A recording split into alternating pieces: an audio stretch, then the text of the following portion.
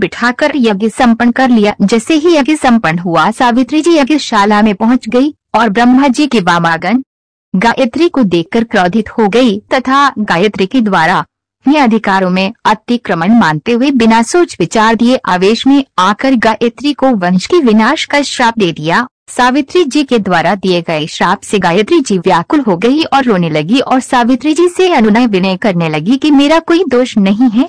और मेरे वंश को श्राप से मुक्त किया जावे, परंतु सावित्री ठस से मस नहीं हुई। सावित्री जी के द्वारा किए गए अमानवीय व्यवहार से दुखी गायत्री को बहुत पीड़ा हुई, तथा उन्होंने ईश्वर को साक्षी मानकर स्वर्ण के निर्दोष निष्कलंक होने की घोषणा करते हुए क्रोध में आकर सावित्री जी श्राप दिया कि, हे सावित्री जी, मैं पूर्णत निर्दोष हो और तुमने बिना परिस्थिति को जाने क्रोध के वशीभूत होकर मेरे वंश के विनाश का मुझे श्राप दिया है, जो प्रतिकार की भावना उद्घाटन है। इसलिए मैं तुम्हें श्राप देती हूँ कि इस संपूर्ण संसार में तुम्हें कोई आदर सम्मान नहीं मिलेगा, तुम्हारी कहीं पूजा नहीं होगी, तुम्हारी संपूर्ण कीर्ति का विनाश होगा।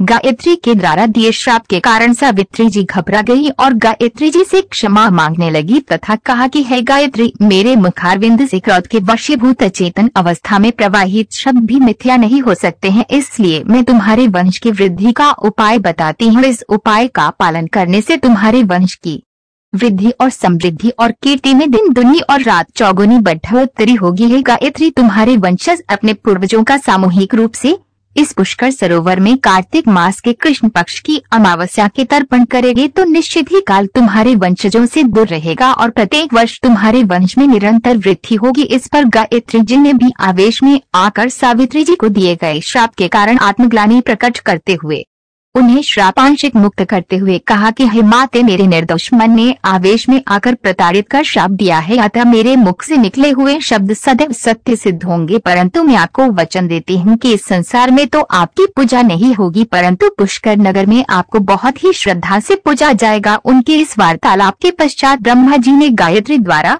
यज्ञ संपादन में दिए गए सहयोग से प्रसन्न होकर गायत्री जी वरदान दिया कि, है गायत्री, मैं बहुत प्रसन्न हूँ, तुम्हारे द्वारा यज्ञ संपादन में दिए गए सहयोग से संपूर्ण सृष्टि का कल्याण होगा, अतः मैं तुम्हें समूर्ण संगीत के सुर प्रदान करता हूँ। तुम्हारे नाम से इस संसार में गायत्री मंत्र प्रचलित होगा, जिसका चिंतन करने मात्र से विकट से विकट संकट दूर होगा।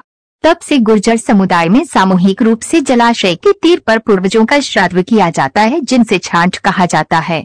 स्वजन्य भंवरलाल जी गुर्जर बूंदी दूसरा पक्ष भी है कि भारत में एक समाज जैसा भी है जो दीपावली के दिन श्राद्ध और पिंडदान करता है।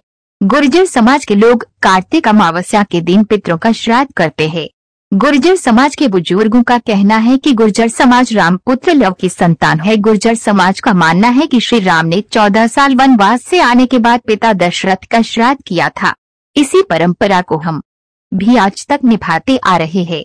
डंडा अजमेर में ये परिपाटी सदियों से चली आ रही है। दीपावली के एक दिन पूर्व समाज के लोग बाज़ार के सारे कार्य कर लेते हैं। यहाँ तक कि कोई बावड़ी से पानी भी रात्रि 12 बजे के पूर्व ही भर लेते हैं। इसके लिए रात्रि में ढोल बजाकर समाज को सूचित भी किया जाता है। कहते हैं, दीपावली के दिन सुबह गुर्जर समाज का कोई भी सदस्य घर से बाहर नहीं निकलता है और पितरों का श्राद्ध करता है। पितरों का तर्पण भी दीपावली की अमावस्या को ही होता है।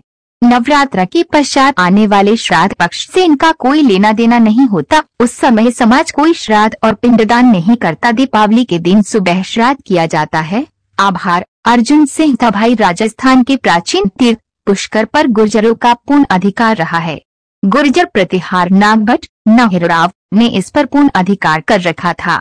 चाची गुर्जर पुष्कर और उसके आसपास के प्रदेशों पर शासन करते थे।